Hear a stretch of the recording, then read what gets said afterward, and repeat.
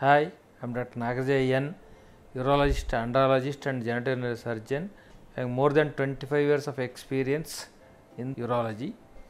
I am practicing at Happy Healthy Hospital, Bangalore. The bedwetting means is a passing urine in the night during sleep without one's knowledge. It's called bedwetting. Normally, we medically we call it as nocturnal enuresis. See, majority of the times it uh, happens in the childhood.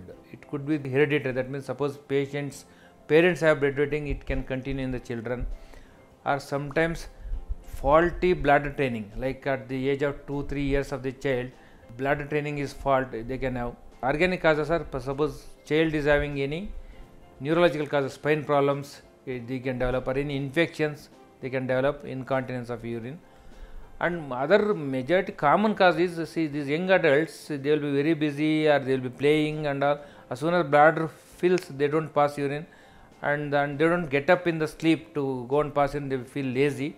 That can cause sometimes enuresis that is night without passing urine without his knowledge.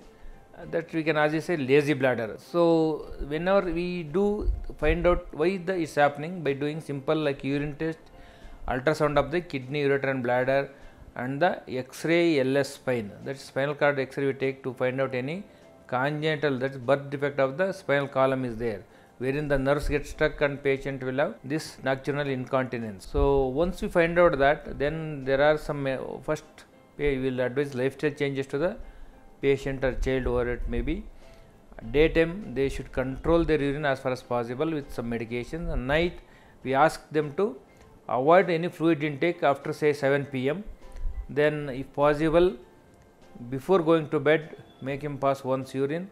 In between if possible ask the parents to make him pass in once or twice. And so even if not responding then we make put some alarm and uh, wake up the child and make him to pass urine. These are the some of the preventive measures. If it is still not possible there are medications available. They decrease the urinary output during night so that we will give tablets at around 7 pm and ask the patient not to take any liquids after 7 pm so these are simple methods available.